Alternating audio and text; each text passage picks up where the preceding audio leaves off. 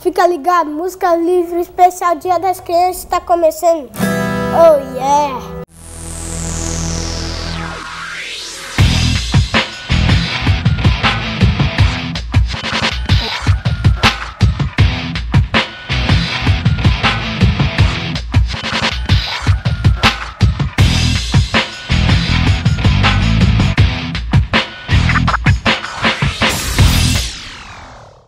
Aí rapaziada, tá começando mais um Música Livre, esse programa feito para você e para toda a sua família.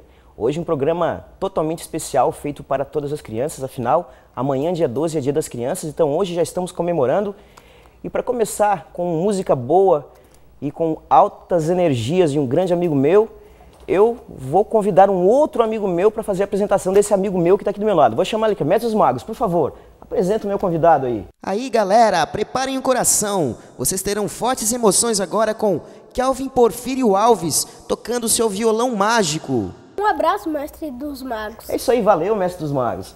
Tô aqui com o meu querido, além de amigo, gigante, gigante, pequeno de coração, mas gigante, de... pequeno de tamanho, mas gigante de coração. Até atropelei aqui. Kelvin Porfírio Alves. Vocês não riam de mim aí do outro lado, é que eu tô ouvindo vocês, hein? Então, tá vendo que eles estão rindo do que eu falei? Então agora, para deixar essa energia, essa energia mágica e verdadeira, o Kelvin vai cantar o 37 pra gente, é isso aí? Sim. Podemos fazer? Pode.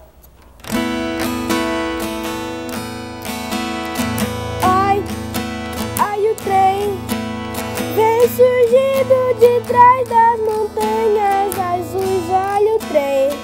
Ai, ai o trem vem trazendo de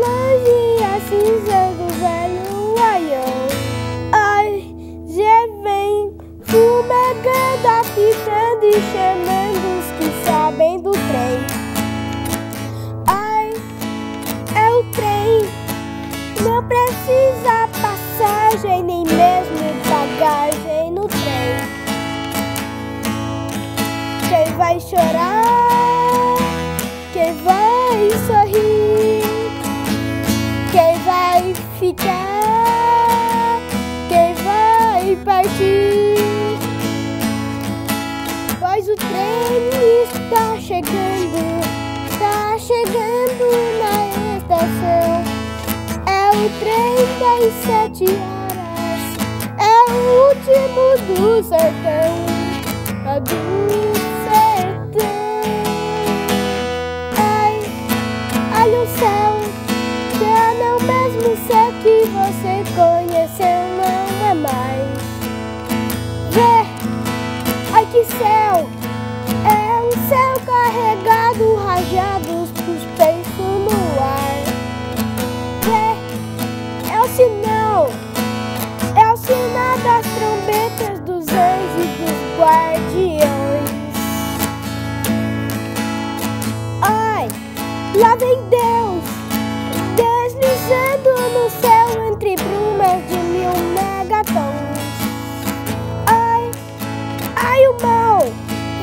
de braços a braços com um romance astral.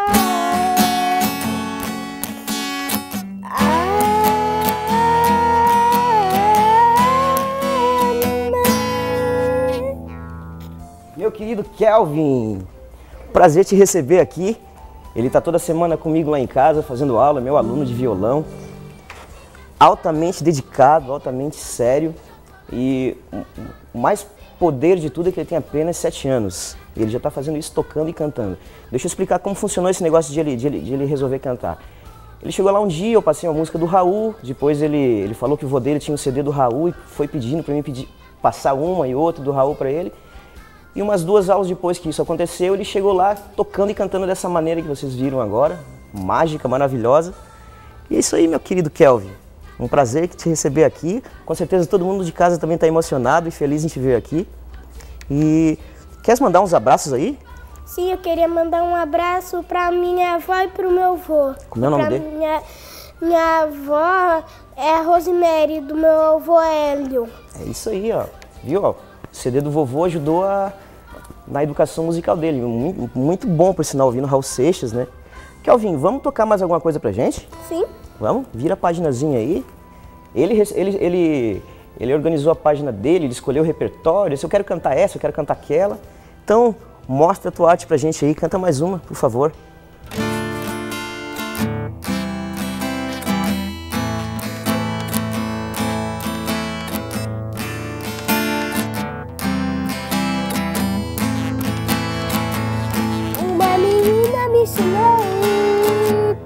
Tudo que eu sei. Era quase escravidão, mas ela me tratava como rei. Ela fazia muitos planos, eu queria estar ali, sempre ao lado dela. Eu não tinha onde ir. Mas se gosta que eu sou,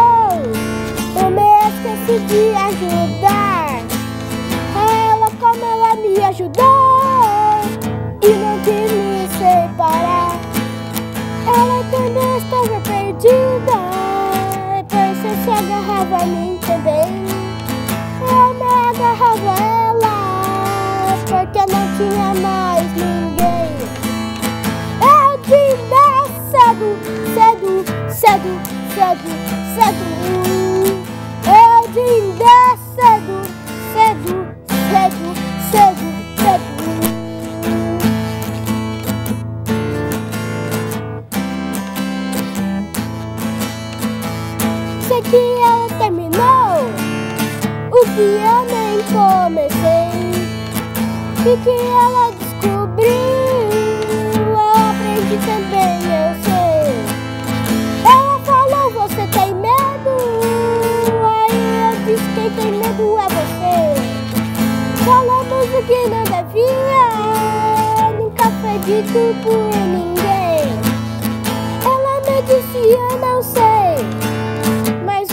Por você.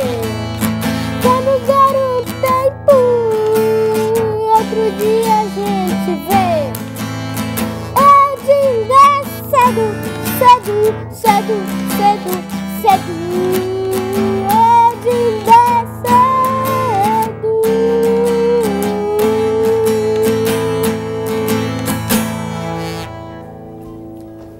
Totalmente sem palavras, o Mestre dos Magos ficou mudo aqui diante dessa- desse gigante, desse gigante Kelvin.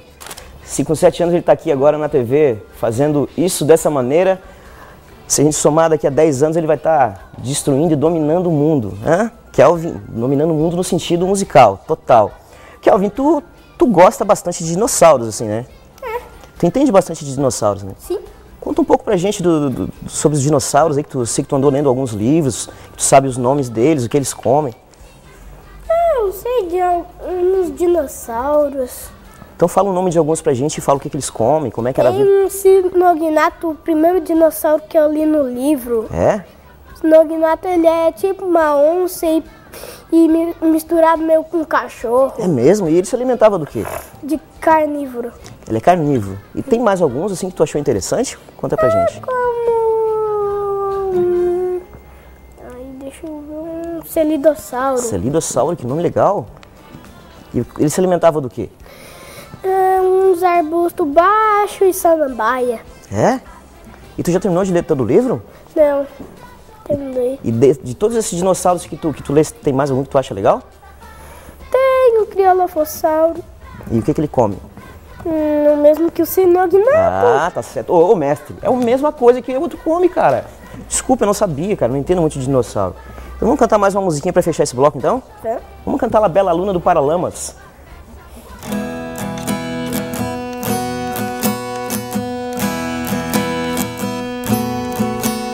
Por mais que eu pense, que eu sinta, que eu fale, tem sempre alguma coisa por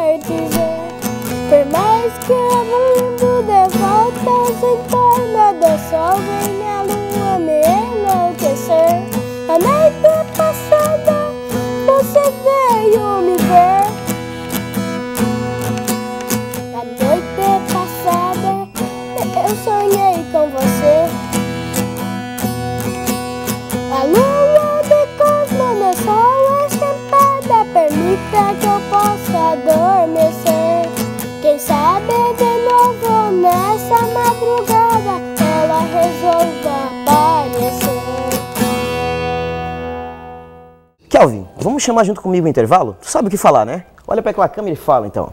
Fica ligado, música livre está no ar.